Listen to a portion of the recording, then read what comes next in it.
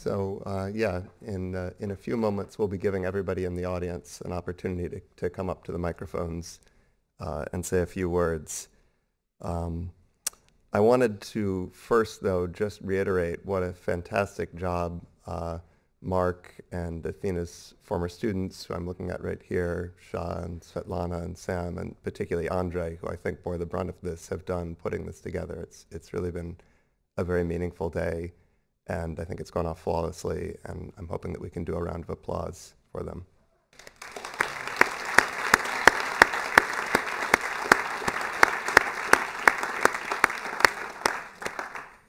Uh, so I've known Athina since I was in graduate school here at UCSD in the in the 90s, uh, and I have to say she was a giant then, and uh, I always felt a little bit intimidated by her, um, and that was not the reason that I left and went away and did various things for a decade and a half. Um, but then in 2015, Athina was really instrumental, was the point person in, in recruiting uh, me and my wife, Stephanie Dulawa, to come back here to UCSD uh, and we started at the beginning of this year, um, and had a, a, little bit of time then um, to talk with Athina. Uh, actually, she was the co-mentor for my student Amanda Barkley Levenson, who's in the back's F32 grant, uh, which scored a 10, a perfect score, um, and was funded. Um, and so I, I think uh, I was one of the last people to, to work with Athina on a, on a grant application. And I regret that um, we didn't have an opportunity to work more closely together, uh, but I'm very happy to be working with her uh, former students uh, to, to see that work to fruition. Um, so as you've heard all day, Athina wore many different hats. One of them was the vice chair for basic research in the Department of Psychiatry. Uh, and that's one of the hats that I've inherited uh, from her. That's the only hat I've inherited from her that I know of. Um, and that's very special to me. And uh, one of the earlier speakers said that they often think, what would Athina do in this situation? And that was very familiar to me. As I do that job, I think to myself, how would Athina do this and how has Athina handled these things? Um, so just another example of the kind of role model she's been for many of us. Um, I, uh, I used to teach a class to students, undergraduates in Chicago, and I would compare the, among other things, the lifespan of mice and the lifespan of humans. And I would take a, a moment to remind them that we should expect to have about 30,000 days in our lives. Uh, and one of the things that we're all struggling with today is that Athina had closer to 20,000 days. Um, and that seems unfair. Uh, uh I remember one particular day after ACNP uh, in 2005 in Hawaii when uh, Mark and Athina and Stephanie and I went snorkeling uh, at the Mauna Kea just after the meeting was over. Um, and I remember that Mark and Stephanie had what is probably the rational strategy, which is they mostly stayed in one place and they let the fish come to them. Um, but Athina and I, for reasons that I'll leave you to speculate on, decided to take the alternative strategy, which was to kind of swim out and, and keep looking for the fish and keep looking in the next little area to see if we couldn't find something better than what we had just seen. Um, and as I've listened to the talks today uh, about her really aggressive zest for life, I think that's a very fitting memory, that she was always out there looking around the next corner, looking for the next thing um, in a really beautiful place, in a really beautiful world. And so that's the, that's the day in Athina's life that I'll remember and the place that I'll remember. Um, and I'm happy to have had that time with her. And uh, we now are going to have the microphones open. And I'm hoping that a few brave souls will uh, get up. I see one already. We'll get up and say a few words.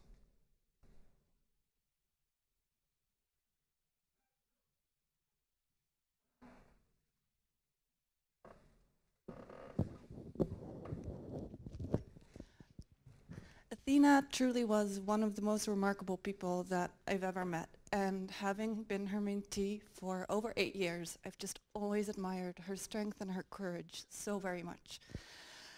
Um, a lot of people today have talked about how she really just fostered her trainees, trainees, and she was also always there for me to really support me throughout when I started in her lab in 2006 as an internship, uh, and then throughout my pre and postdoctoral careers. Um, but as many of you know, it's often also been very tough um, trying to live up to the full potential that Athina saw in me. And often it just, it really took me a while to understand. I remember Stella described how when we were writing manuscripts, there were often just so many versions that had to go back and forth just to make sure that everything was perfect. But then I wrote this postdoctoral fellowship application and Athina looked at it, I think one and a half times and I was really taken aback. I didn't really understand. And then afterwards, it was time to write the recommendation letter for this postdoctoral fellowship. She sat me down in her office and she explained to me how the wonderful job that I did preparing this all independently really showed how I was going to succeed in the research that I, I proposed in this application. And so it, it, it, it took a while sometimes, but it's just, I remember Athina very fondly, and I miss her so dearly. And even though I've fallen off the academic track, she really does continue to inspire me every day from the meticulousness with which she approached all aspects of science to the way she goes after her ambitions. And I miss her very dearly, and I'm incredibly grateful that I can be here today with you to honor her legacy. Thank you.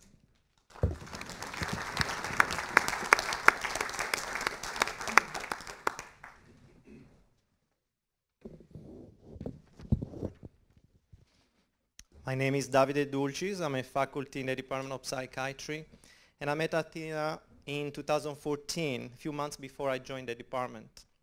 From the first time I met Athina, I was impressed by her enthusiasm and passion for science, always ready to listen carefully and contribute with insightful scientific questions. When I approached, therefore, with a problem of any sort, she seemed always to have a clean, clear plan in mind and to be one step ahead, as if she had already thought about that problem before and already came up with a tangible solution for me. she was one of the driving forces leading the basic research program in our department. I will miss her determination in pursuing her vision to create a strong research group in psychiatry. She has been a great mentor to me. I will never forget the day I submitted to her a six-page Word document asking for revisions. It was the night of December 22nd, 2015, so two days, two nights before Christmas Eve, at 8 p.m., when I finally sent it to her after a long day working on it. I knew how busy Athina was, being the vice chair of research affairs in the department, so I didn't really expect her to get back to me anytime soon. But then when I checked my inbox mail at 10.30 p.m. that night, very same night, there it was. My document had been carefully revised with track changes, with detailed comments and numerous suggestions throughout. It would have taken me hours to just address those comments.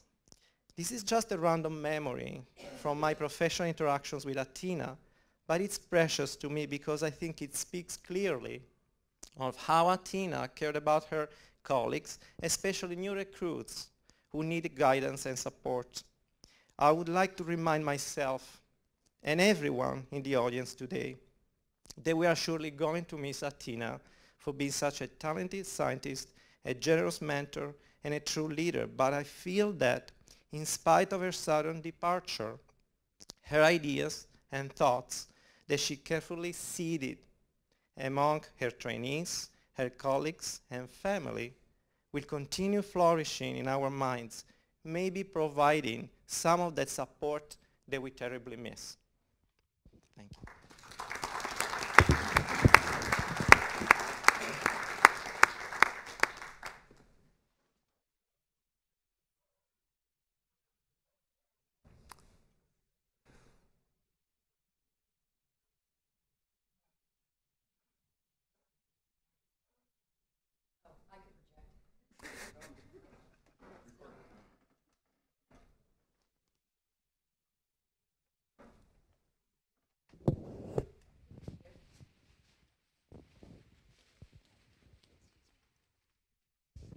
Dear Mark, so on behalf of myself and Jeff and Craig and Colleen at the Vanderbilt Center for Neuroscience Drug Discovery, we were profoundly, profoundly um, saddened when we first heard the news about Athina's passing. And as I said at ACNP, a bright light has gone out in the world. There will be, there never will be someone like her. She was utterly extraordinary. And for me today, I felt it the way that Alan best described it. Um, I was always tremendously impressed. I was um, by all of her scientific, uh, her writing, her presentations. But it was so moving to hear so many of you talk about all the years that she spent with you, training you uh, as collaborators. Um, but I wanted to get up importantly to share what I shared at ACNP. Uh, because for all of you who are mentors, you may wonder how you can have impact in the world. And I think today that this is really about legacy. There is on Broadway a very famous musical called Hamilton, and there's a song. And it talks about, George Washington's talking to Hamilton, he says, you know, be careful about your legacy, you know, who lives, who dies, who tells your story. And today, you guys told an extraordinary story of the life of Athina Markou. It really meant a tremendous amount to me.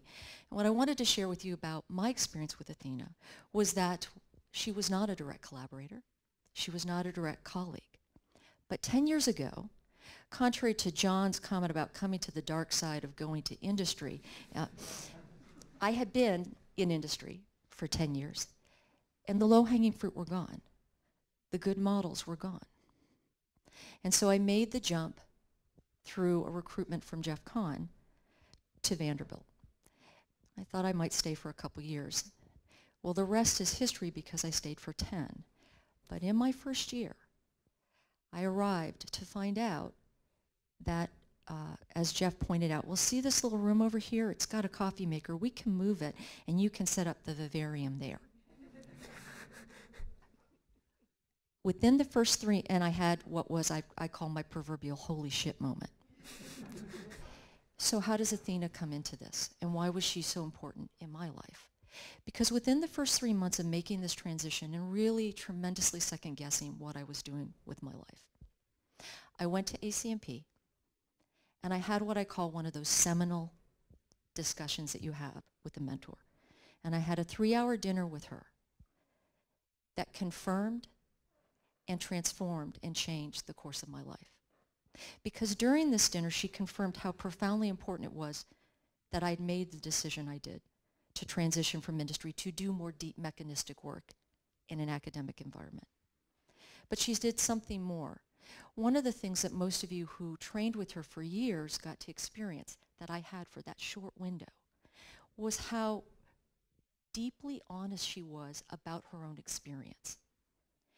I reflect on that conversation sometimes daily, depending upon what's happening, but certainly every few months. I think about the things that she said specifically about the choices that you make and what impact it will have, and to be brave and courageous in your decisions, to be highly translational in the science that you choose to do, even if in the beginning you don't get the grants or you don't get the accolades that you're going in the right direction. Trust your gut. I think for me, I was at a point where I really needed to hear from her something else. And that was something that we haven't talked about today, which is where she very honestly, as I talked about at ACNP, talked about successes but also failures or what she felt were her shortcomings or the things that she not so much regretted but she might do differently. I can't tell you how important that is when you're making transitions in your career. Please, for you, those of you who are mentors, do that for your trainees. I think that many of you expressed what she did for, for all of you on a daily basis, but that one conversation made the difference. I stayed for the last 10 years, and of course many of you know I'm, I'm part of, I'm director of translation for the academic drug discovery work at, uh, at Vanderbilt. Um, Mark, Thank you for today. Thank you to all of you for sharing this. My life, as I said at ACNP, is forever changed. My career is forever changed by that single conversation with Athina Markou. Thank you.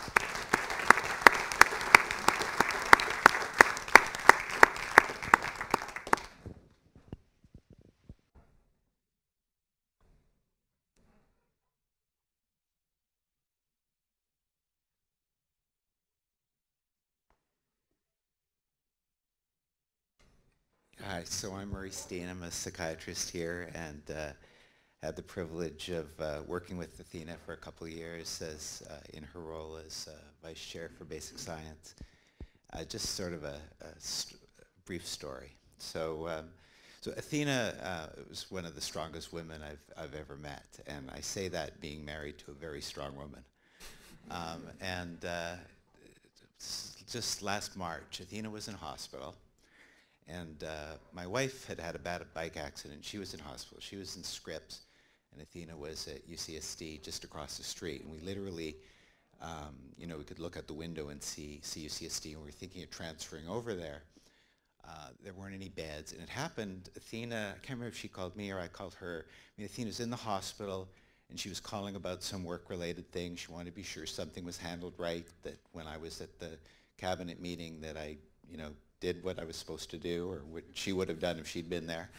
Um, and so I said, you know, or, or my wife Aura's in hospital. She had a bike accident. Athina's, you know, in hospital. She goes, well, you know, I, I just got a, a private room here. I've been waiting for, for quite a while, and and um, I don't think there's any other rooms in the hospital. But if if Aura wants, she can come share the room with me. And and, and she and then Athina pauses, goes, you know, there aren't very many people I would share my hospital room with, but I, I think I'd share it with Aura. I just remember just feeling uh, so touched by that. I told Aura, uh, who, who just you know said, yeah, I'd, I'd share a room with Athina. so um, that's that's just the kind of person she was, and uh, Mark, Aura, and I are, are really uh, we really miss her.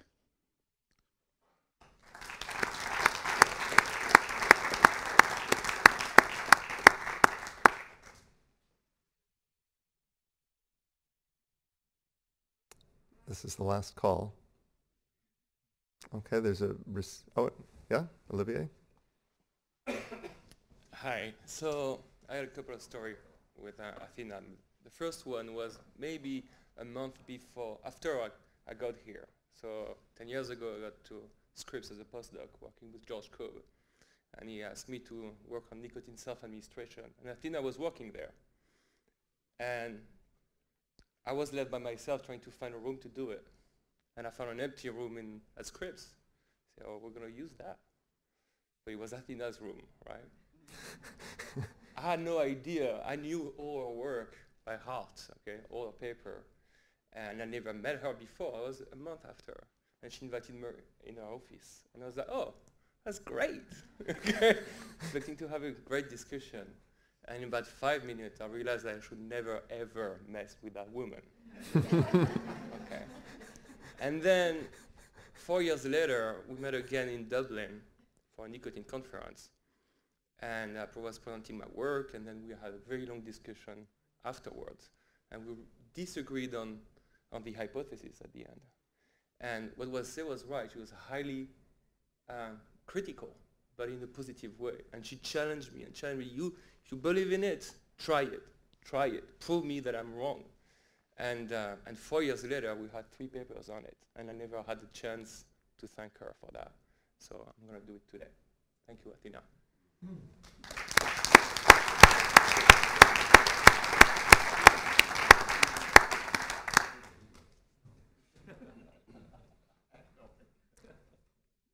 Okay.